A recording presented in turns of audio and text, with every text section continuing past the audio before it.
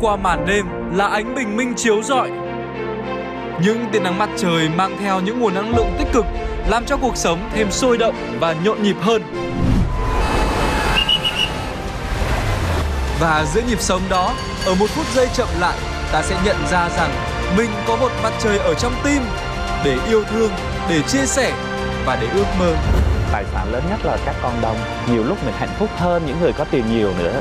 Hy vọng là chúng ta sẽ cùng nhau có thể bảo vệ được con nuôi của chúng ta. Nếu cánh cửa ra thì chua tay vào một cái ốm bía ra thì may ra cái ốm bía ra. Bạn cho mình xin vị trí tai nạn nhé, từ đến ngày đến từ đến ngày. Trái tim mặt trời. Thưa quý vị, mặt trời là ánh dương soi sáng thế gian, giúp cho sự sống trên trái đất sinh sôi nảy nở. Mỗi người tốt, việc tốt cũng như một tia nắng vậy, bởi nó chính là nguồn sáng ấm áp, lan tỏa tới mỗi người chúng ta. Và trong năm vừa qua, những tia nắng ấm áp của lòng tốt ấy đã hội tụ kết tinh lại tựa như ánh mặt trời rực rỡ, tỏa ra những nguồn năng lượng tích cực tới với mọi người. Và trong những ngày đầu tiên của năm mới này thì à, chúng tôi xin được kể cùng với quý vị nghe câu chuyện về những trái tim mặt trời, những con người mang trong mình trái tim ấm áp của sự yêu thương và sự tử tế. Họ có thể là bất kỳ ai, ở bất kỳ đâu, nhưng điểm chung của họ là sự nhân hậu và bao dung. À, vâng và trước tiên thì à, à chúng tôi cũng muốn quý vị gặp gỡ những người trẻ bằng những trái tim tỏa nắng của mình à, với công cụ là công nghệ và mạng xã hội đã miệt mài giúp đỡ những hoàn cảnh khó khăn, từ đó mà nhiều cảnh đời bớt đi những nhọc nhằn. Mùa xuân đến xinh tươi trời mây nhà nhà điêu súng về. Đào tươi thắm mai vàng khoe sắc giáng xuân. Khi tôi còn nhỏ tết đến với tôi rất là vui. Nhưng còn tết về đây tôi chỉ có một mình. Không người thân không anh em không có họ à tết đến rất là tủi thân rất là buồn tôi không nghĩ ngày này tôi vô đây Trúc Phương mong muốn sẽ mang đến những niềm vui, bất ngờ cho các cụ tại đây. Thì Phương nghĩ là bất cứ ai trên đời này cũng đều muốn một lần cái điều ước của mình thành hiện thực. Thành ra là Phương đã huy động ông bà viết thiệp à, ghi những cái điều ước của ông bà vào và Phương à, mong muốn thực hiện điều đó thành sự thật. Năm mới chúc ông bà nhiều sức khỏe Dạ, nha. vâng. Cảm ơn cô rất nhiều. Dạ ông ạ. Xin chào bà. Dạ. Mọi người ai ở đây cũng sẽ được quà này của bà. dạ, quà. cô. Có phải ông hôm nay ước mơ có được bộ cờ tướng? Đúng không? Đây con gửi tặng ông bộ cờ tướng nha. Sao lại biết được ạ? Sao mà không biết? Con của Tiên mà sao con không biết? Ông chỉ cần ước thôi là được. Em bộ Ôi, quần đẹp áo mới quá. cho bà. Để cho bà có quần áo mới ăn Tết. Hơn cả vật chất, đó là tình cảm, sự sẻ chia như người thân gia đình. cái tình thương gia đình nó cao quý lắm cô ạ không thể nào tìm kiếm được đâu mà chúng tôi bị đánh mất như vậy lâu quá rồi cho nên ờ, những người đến đây thăm chúng tôi chúng tôi cảm thấy rất là Trúc Phương đã hỗ trợ 300 triệu để uh, mua sắm trang thiết bị cho các cụ như là giường, chiếu, không gian phía trong cho các cụ có một cái không gian thoải mái nhất. Với Facebook Tích Xanh gần 200.000 lượt theo dõi, cô gái trẻ Trúc Phương đã kêu gọi sự giúp sức của cộng đồng, hỗ trợ được khoảng 150 hoàn cảnh với tổng số tiền là khoảng 15 tỷ đồng. Cũng bằng mạng xã hội, anh Lương Phi với kênh YouTube Phi Một Chân của mình đã thực hiện 1.000 video kết nối khoảng 7 tỷ đồng đến với người nghèo. Mình làm công việc này là mình sẽ đi giúp đời, đi giúp ờ, những người khó khăn thôi. Thì ờ, người ta cần thì mình sẽ đến để giúp đỡ họ. Mạng xã hội là ảo, thế nhưng tình người là thật. Những người trẻ trên khắp đất nước bằng tấm lòng thiện nguyện đã kết nối những tình yêu thương mang đến những mùa xuân hạnh phúc cho người nghèo. hôm nay chúng tôi rất là sung sướng và vinh hạnh tôi cảm thấy mình không còn cô đơn nữa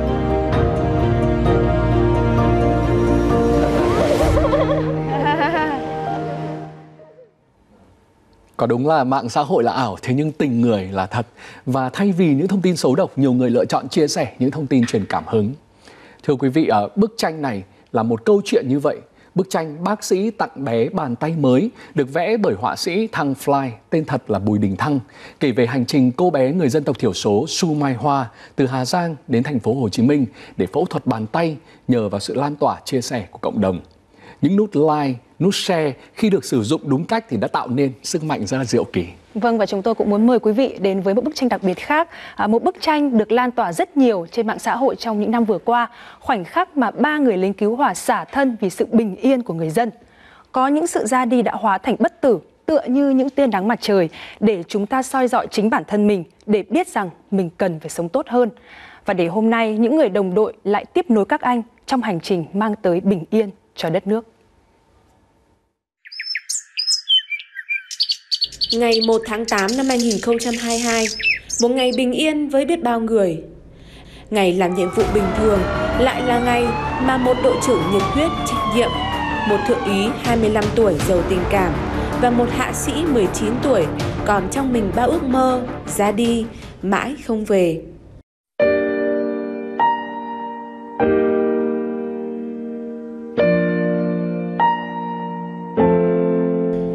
Trong lòng người dân cả nước, họ trở thành những anh hùng giữa thời bình. những cái buổi đi chữa cháy đêm mà tất cả các anh em đói quá đi vào một quán phở ăn. Người thì đen nhẻm mặt mũi chân tay đen nhẻm. Nhưng khi đứng dậy thì có một bác bác ấy đã thanh toán tiền rồi. Bác ấy bảo là một hôm nay là mời mời tất cả các chiến sĩ. Mẹ cảm ơn con đã đến với cuộc đời của mẹ mẹ cũng rất là tự hào. Đó là tặng bạn ơn duy nhất mình cố gắng sống tiếp thôi và mình đã cố gắng sống theo một phần nào đó với cả việc Cuộc sống vẫn tiếp diễn. Nhưng bước chân thần tốc của chiến sĩ phòng cháy chữa cháy chưa bao giờ ngơi nghỉ, lao mình vào hiểm nguy để cứu sống cả một đời người. Đồng đội chú ý. Nghiêng. Nghiêng phải, thẳng. lại nhắc đến cái vụ 132 cầu giấy thì thực à, tế thì hôm đấy là vào khoảng à, 7 giờ thì đơn vị à, nhận tin à, có cái cháy nhà dân yêu cầu các phương tiện phía trước nhường đường cho xe cháy làm nhiệm vụ gợi nhớ nhất cho lực lượng của chúng tôi khi đến hiện trường của vụ cháy đó là à, nghe thấy tiếng kêu cứu của người dân rất là nhiều ở trên khu vực các tầng Có ai, có ai ở đây không? Có ai ở đây không? tay tay sờ đấy lần hai rồi anh đứng anh đứng anh đứng đó đi anh vừa anh quay lại đấy được rồi đấy đấy được rồi đấy anh anh come vào đây come vào đây xong rồi xong rồi sớm rồi. Đúng rồi đúng rồi. Khi mà em nhìn thấy các anh đấy mang đồ dụng cụ lên để cứu bọn em Lúc đó thì em mới dám bật khóc lên. Và ừm, em chỉ kịp nói ôm chặt lấy chú đấy và chỉ kịp nói với chú đấy lời cảm ơn. Cứu được một người không phải vụ này mà rất là nhiều vụ. Khi mà đã cứu được người thì à, hiển nhiên rồi là con người thì cái trái tim của chúng mình chúng ta thì luôn luôn sẽ ấm áp và luôn luôn thấy hạnh phúc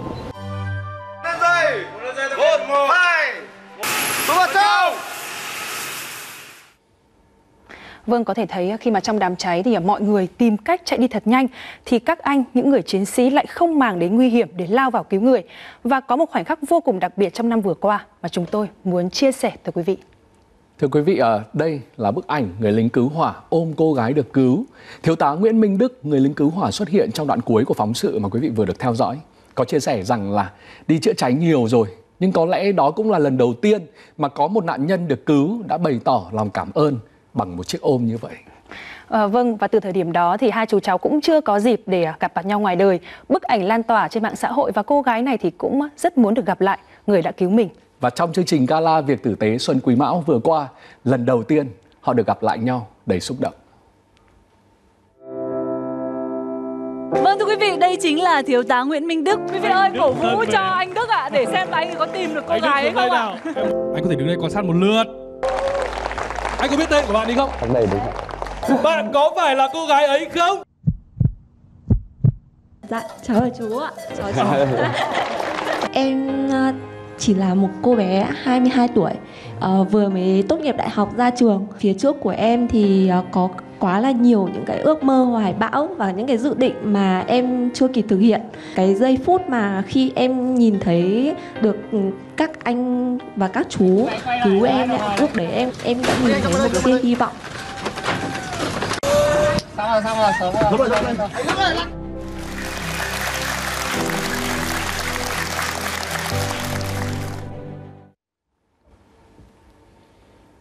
Cũng trong gala việc tử tế Xuân Quý Mão, Trái tim mặt trời vừa qua, một cuộc gặp gỡ đặc biệt giữa ba người cha mà chúng tôi thường nói vui với nhau rằng họ là ba người cha đông con nhất Việt Nam đã được diễn ra.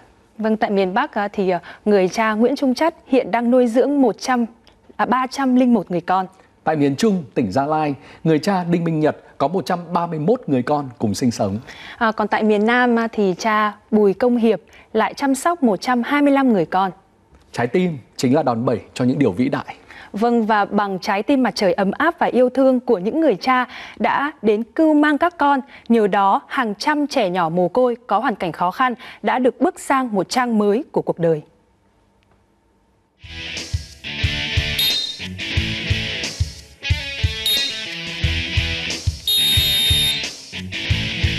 Đây là một đội bóng đặc biệt, đội bóng của những thiên thần.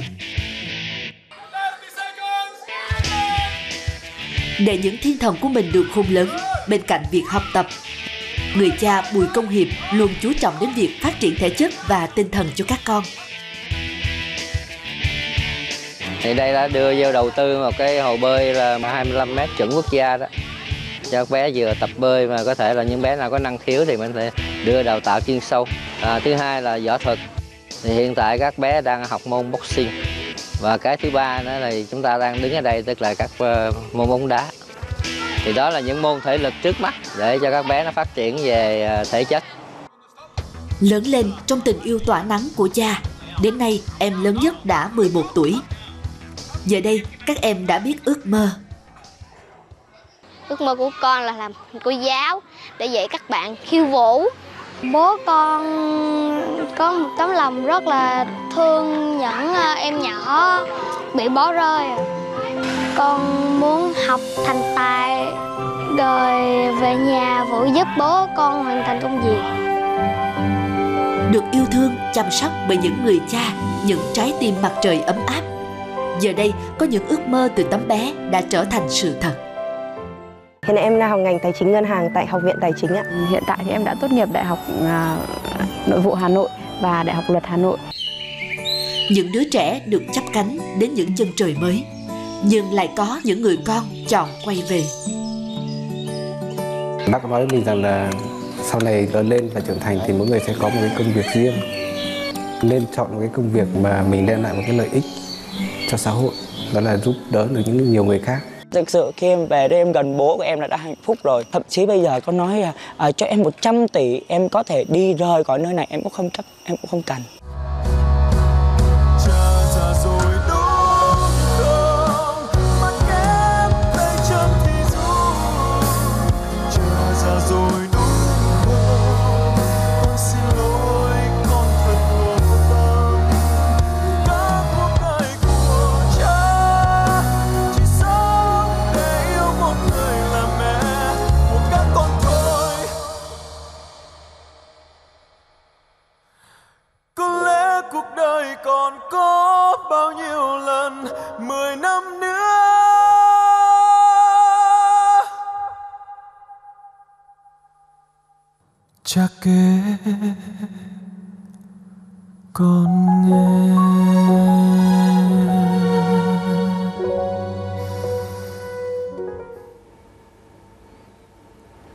Tôi rất thích ờ, một cách ví von rằng là mỗi một việc tốt là một tia nắng nhỏ lan tỏa những điều ấm áp và chúng tôi tin rằng khi mà ngàn tia nắng nhỏ cùng nhau chiếu sáng sẽ tạo nên một bình minh rực rỡ. Cuộc sống trở nên đẹp đẽ và hạnh phúc hơn khi mà chúng ta biết sống vì người khác. Chẳng thể có một ngày nắng ấm nếu những tia nắng nhỏ không đứng lại gần nhau.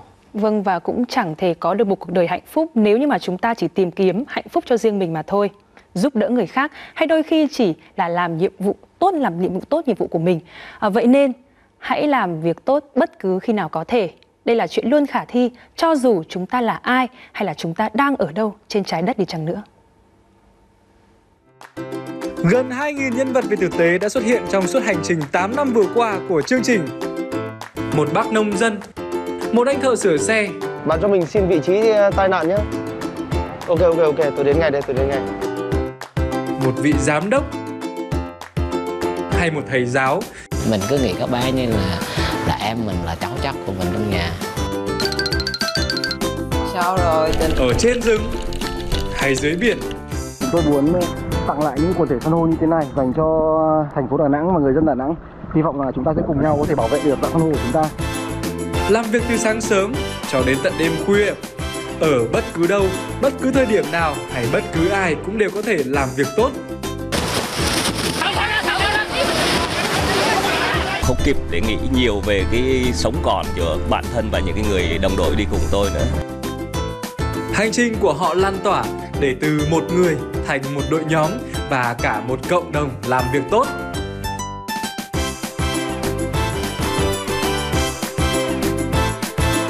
Vẫn đang hàng ngày góp thêm những tia nắng cho bầu trời rực rỡ để ngày xuân trở nên ấm áp hơn cùng những tấm lòng thơm thảo.